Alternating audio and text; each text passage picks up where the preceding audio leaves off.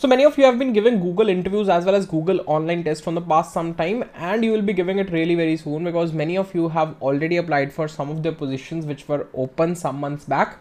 So in this video, we're going to completely analyze Google's process with respect to the online test. What exactly are the type of questions that you can expect in the online test? What are the important topics in that online test? In some cases, the online test is skipped. So what are those cases and how can you be a part of Google? So we are going to completely demystify the process of Google. Along with that, I'll share you some resources with respect to mock tests that you can practice to get over to this online test. Along with that some practice questions list from google that you can practice as of now. So this is going to be an extremely resourceful video for somebody who's looking out to prepare for this test as well as for the interview rounds. Let's start the video with a brief about google's sd online assessment. So if i if i'm talking about sd online assessment so it, it is for both sd internship as well as sd full-time so when I say Google SD online uh, assessment, so in Google generally for freshers there are three roles that are offered. When I say three roles, first out of those roles is uh, Google SDE, that is software engineer role. Generally for freshers they hire for L3 level, right? Then there is something known as application engineer. Then there is something known as strategic cloud engineer. And apart from that, you will see uh, these internships also. You'll see software engineering role and there is an sd internship as well. There is an application engineering internship as well. Right? Apart from that there's something known as google step internship. Right? So these are the major roles that you will see uh, in google for freshers. So this step internship if i talk about so this step internship is basically for second year students This S SW internship is for third year and final year people. Third year people, it would be two months internship in the summer and final year students, it would be a winter internship. I'll soon be coming up with a video in which we'll talk about how a student from a tier 3 college got into his 6 months winter internship very very soon. That is already short. So make sure you do subscribe to this channel for keeping yourself updated with everything that is required to make your process. Next is application engineer intern. So this uh, this is basically a full-time role as well as internship. Again it's for third year and final year right? And strategic cloud engineer generally they hire for full-time role. Now moving ahead what exactly you can expect out of uh, these uh, different different types of roles. So the first that we'll be talking about is google. So google swe role you will see multiple different types of processes through which you can get into this role. First is let's say you're talking about google internship and you're talking about google ft so for internship generally let's say a two months internship or a six months internship generally there are only two rounds conducted nowadays for some of the students, it can be three rounds plus one screening. For some of you whose screening is screening can be skipped based upon your profile. So these two rounds are wholly based upon DSL goes. Generally, no online test is conducted here. In FT, you will see an online test in most cases for some of you online test can be skipped here also. There can be a phone screening round. When i say online test there'll be a google online coding challenge. Right? So when i say google online coding challenge you will expect this test to be on either cocubes. So i've seen this test on cocubes also. And it can be on hacker earth also. So what you can expect? You can expect two to three questions medium to hard level i would say if you compare it with LeetCode medium to hard level two to three questions to be solved in one and a half hours to two hours.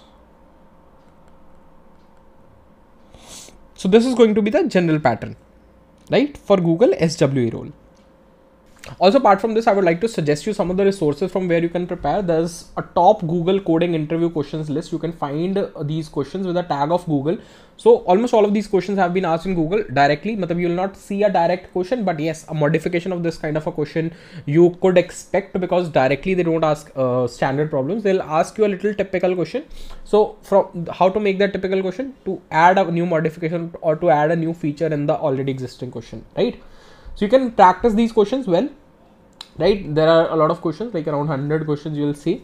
So they have also mentioned average time that you need to uh, that will that will take to solve this particular problem difficulty level also and how many students have attempted. Like this is pascal triangle is a very common question and many students have attempted it right?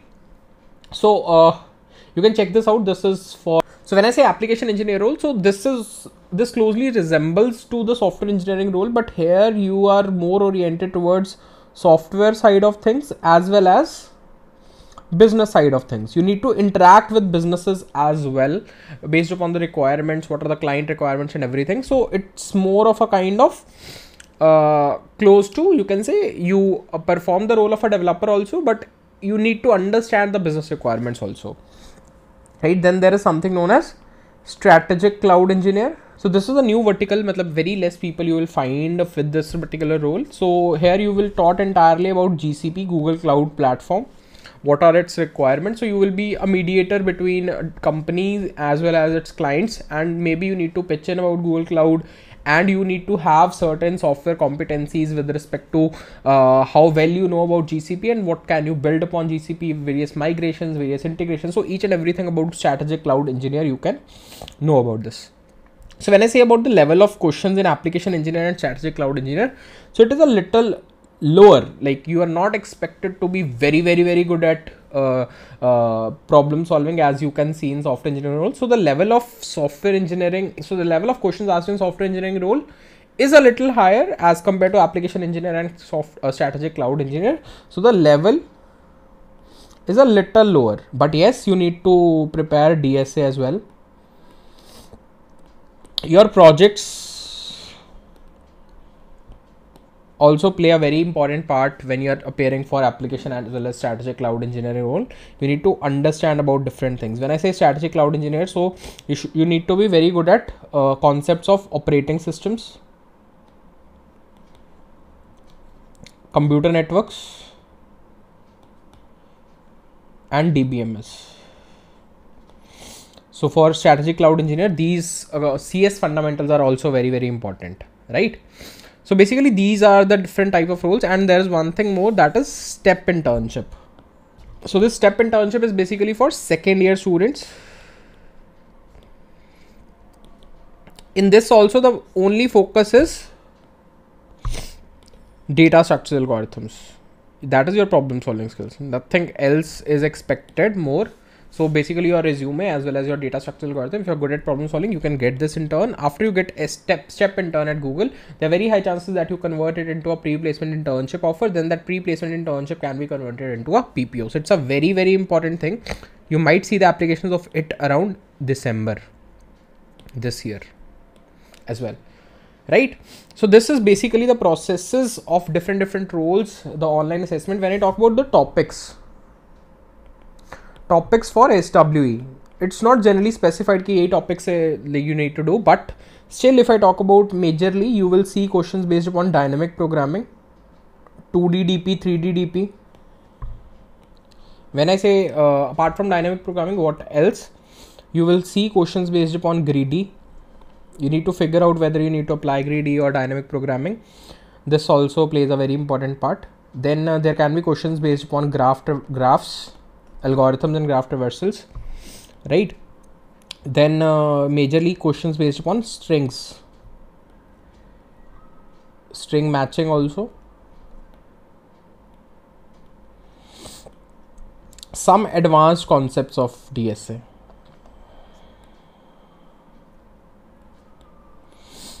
but these are the questions that have been most frequently asked. I'm not saying it is the these are the only topics but yes you should give more focus upon these topics if you're preparing particularly for online assessment of google uh, uh, swe right?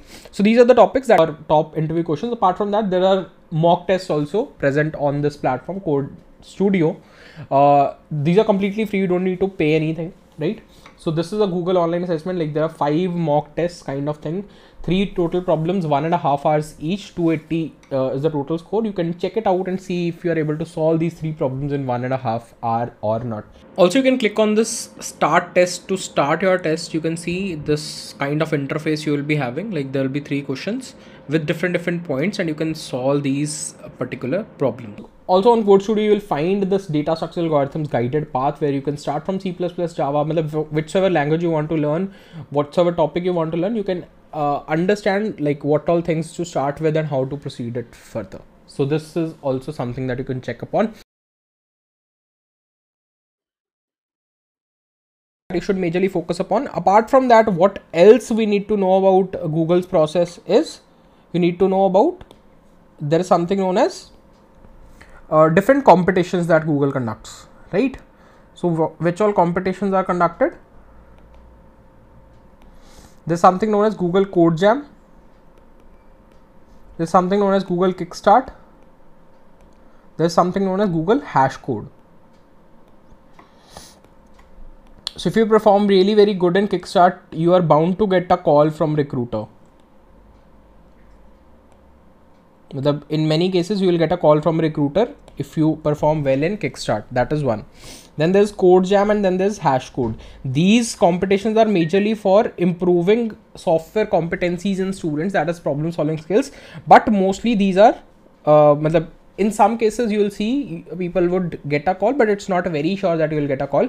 But yes you can definitely participate. I'll give the links to code jam kickstart and hash code also in the description. Whensoever these competitions are up you can definitely apply for them and you can at least take a part right? That name of code jam or like you have participated in some other round you have reached some particular round that impacts your resume overall.